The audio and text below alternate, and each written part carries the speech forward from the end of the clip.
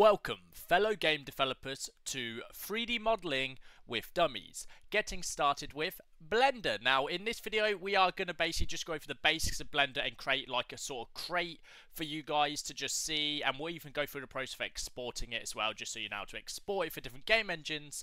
Now, I just want to mention this. I've recently started 3D modeling and started releasing 3D models on my Patreon. So if you become a top tier patron, a Wolf Plus, on the Patreon, you'll get access to all those uh, 3D models for free, or you can actually buy them separately in the Patreon shop as well. As long as well as getting all the source code for any previous uh, tutorials we have done in the past. But anyway, guys, let's get started with this. So the first things first, head over to Blender and go to download. Now you want to download probably the latest version, an LTS version. Uh, click it over to download and select which one is good for you. Now, I already have it installed, so I'm not going to install it, but it is just as simple as this. You can also head over to Steam and download it on Steam, so you can update it through Steam and stuff like that. So, once you have that, we're going to be opening up Blender, and when you open up Blender for the first time, you're probably going to get a bit overwhelmed. You're going to be uh, greeted with this screen. Uh, it probably won't say you have any recent files. If it does, then you're lying. This isn't your first time using Blender. Um, so what we're going to do is just click off that first screen, and you're going to be in this scene with a camera, a light, and a cube. Now, just for this video, I'm going to press A. A is going to select all the objects in my uh, collection here. Um, and I'm just going to press X and it's going to say delete selected objects. I'm going to click delete. And there you go. Now we have a clean slate to start from. Now I'm going to just go over a few of the basics of Blender. Um, for starters, middle mouse button is going to allow us to rotate or orbit around the uh, point you are focusing on. You can also hold shift and hold the middle mouse button to move left and right. Now I do have emulate um, I do have uh, emulate numpad on. To do that you go over to edit, preferences and go to input and at the top here, you want to turn on emulate numpad unless you already have a numpad. Now, I do have a numpad as well. Um, I just got so used when I didn't have a numpad to using the numbers on the top of my keyboard um, that did. Now, the numbers on the keypad number, uh, the keypad numbers are used to change your orientation or facing. So if we add in a cube, so to add a new mesh into your scene, by the way, your hierarchy is on the right here, what we're going to do is press Shift A, go to mesh and I'm going to select a cube. And you can see we've got this cube. Now if we want to look at the front of this cube we're going to press 1 on our numpad or if you don't have a numpad and you turn emulate numpad on just 1 on your keyboard will do and that will bring you round here to see the front of this cube. Now if you want to see the top you can press 7 if you want to see the right side you press 3 uh, and that's essentially ways to look in orthographic now, we are going to turn this cube into like a simple crate. We're not going to do too much advanced things for this video, uh, but all I'm going to do is I'm going to go into edit mode. So by pressing tab on your keypad, you, you switch to edit mode. And I'm going to press Alt Z. That's going to put you in X-ray mode. So you can actually click vertices through the um, mesh itself. Now all I'm going to do is I'm going to press 1 so we go into front view and I'm going to select the whole box by just clicking, uh, left clicking and dragging across the screen.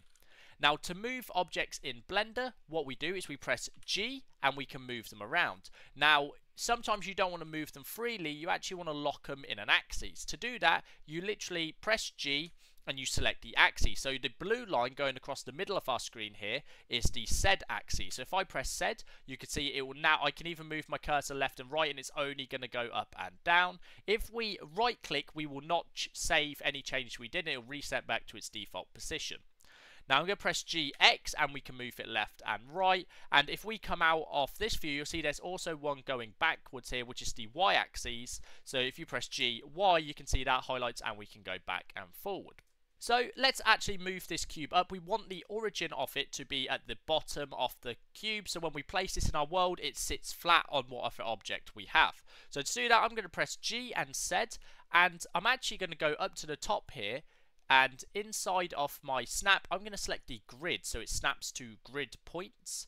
And um, then when we come back, if we select it, by the way, I selected all the vertices by pressing A. So you can individually select the vertice and press G to move it as well. Um, but we're going to move them all, so we move the whole cube itself.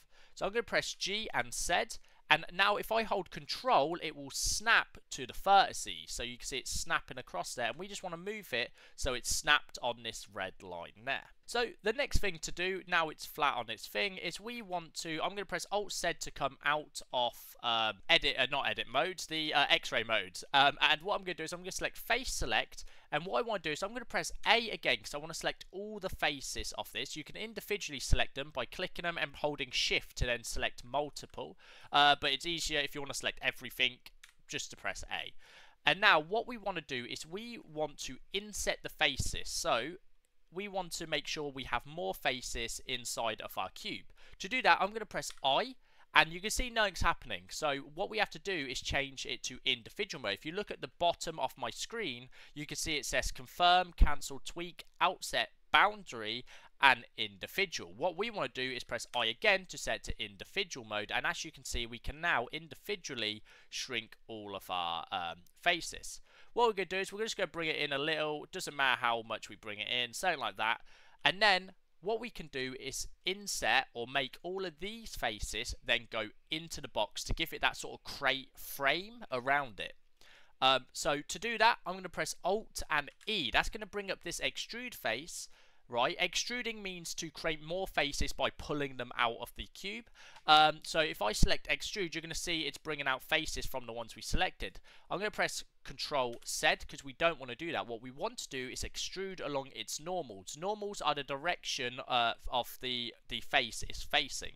So to do that, we want to press Alt E and select extrude faces along normals. And what I'm going to do is I'm going to shrink this in by moving the mouse. You can see I can move them out and in. What I want to do is just bring them in ever so slightly to give that crate feel. That might actually be too much, so I'm going to just, I have undone too much there. So I'm going to Alt-E, extrude, and I'm going to bring it in just ever so slightly. I think that is good enough. And there you go. We have a basic, a very basic um, crate, if you would say. It just needs colouring in. Now, one thing, if I come into out of edit mode, you can see it's quite hard to see some of the edges and where the faces are. So to fix that, what I do is make up in the top right here, where we have this little render, this little drop down, click this, and go down to cavity. You're going to see that adds an edge to most things. However, we want to change this type to both, so you can then see um, more detail along this. This just makes it easier to um, change. And if you go to world space and screen space and change the valley up a little, this is just going to make it so you can see the shadows are darker. It makes it a lot easier to see your cube with what you're working with. And then when you want to see the actual rendered cube, you can press this one here um, and it will show you a rendered with lighting.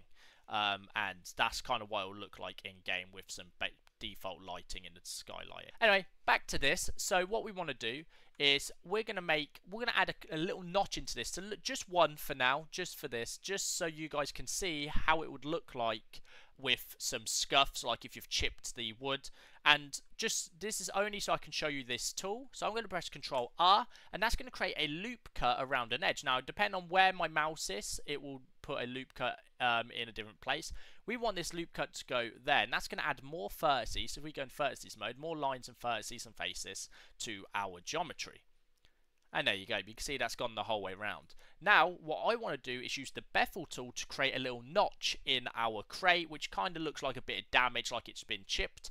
Now I'm going to press Control B and you can see we get this line coming out of our thing here which is it looks good but it's not doing what we want it to do. It's not creating the notch. That's because it's currently in edge mode to create a bevel around the edge.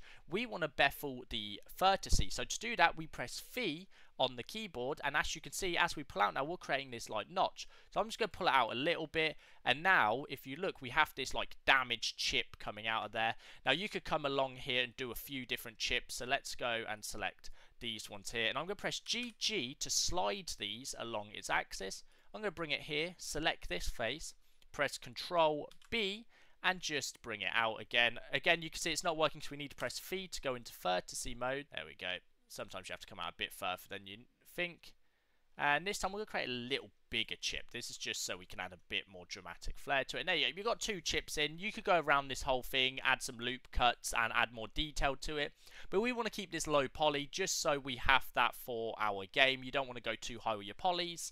Um, and a poly count is like essentially the um, the faces, the triangles this will create, you want to keep it low poly. You don't want too many polygons in your geometry.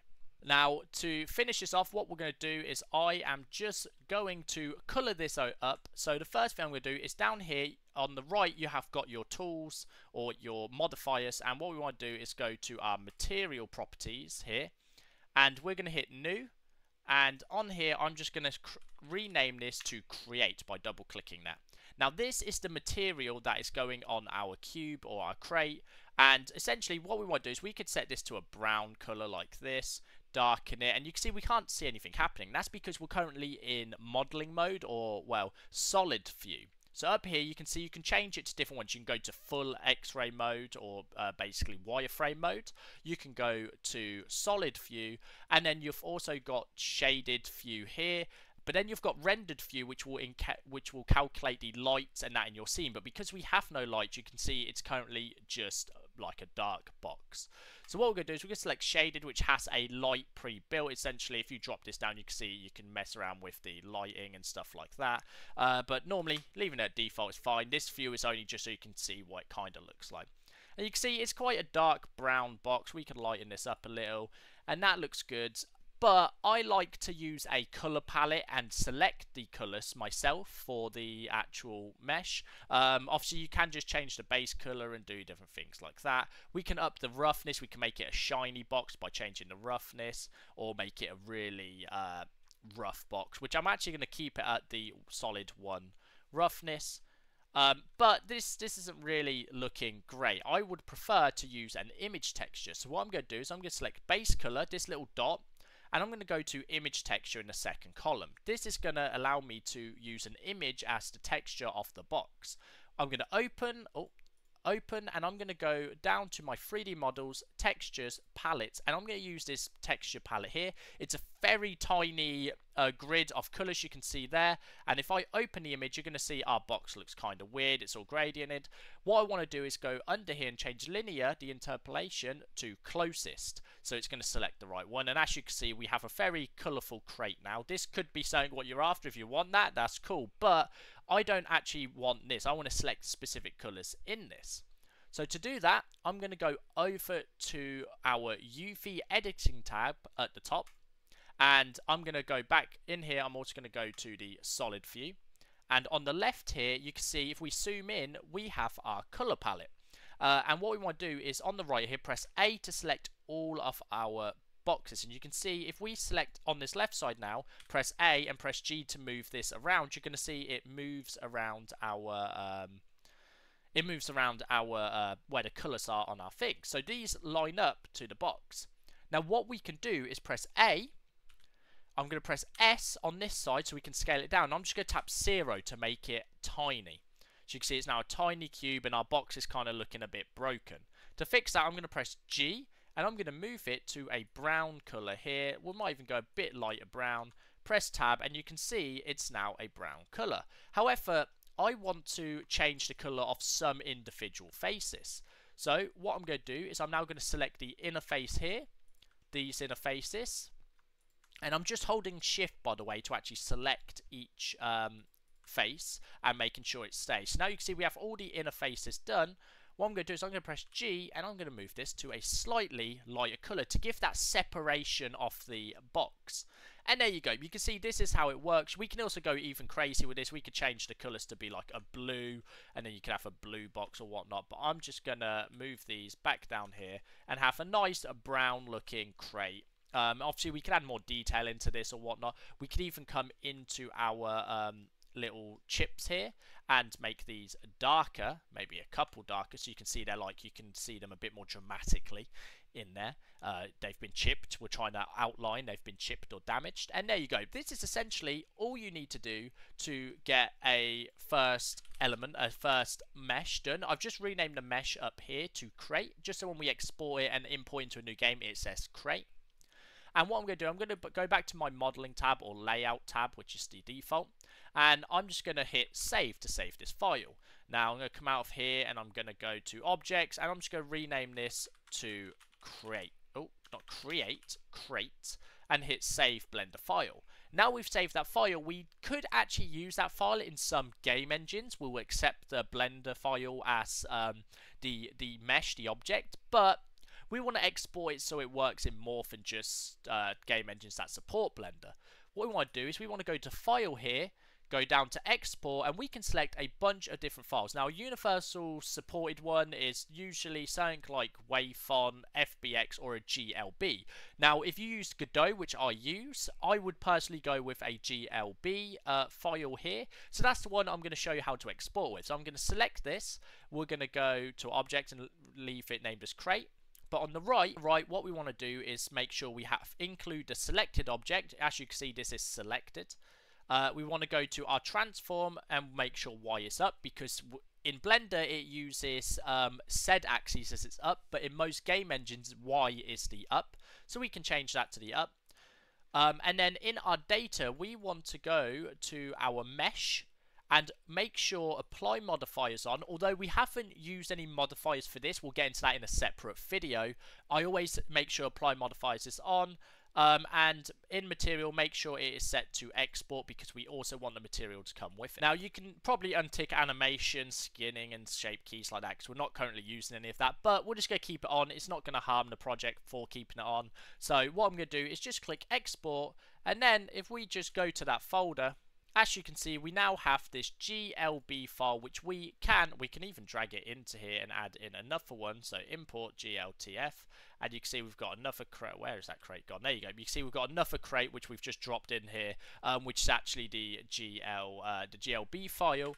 Um, we're just going to delete that because obviously that's not what we wanted. Um, but you can see we could drag this into our game engines like Godot and stuff like that. And that is essentially Blender or 3D modeling for dummies. If you enjoyed, don't forget to leave a thumbs up, smash that subscribe button, and don't forget to check out the Patreon if you want to have a look at the assets we've created and also join the uh, Muddy Wolf uh, gang, the uh, there's a bunch of different things you can get on there, such as source code, podcasts, and also some behind the scenes content. As well as if you go for the newest, highest Wolf Plus tier, you can get our 3D models for free. Well, you're still paying for the tier, but you get them for free rather than paying them from the shop.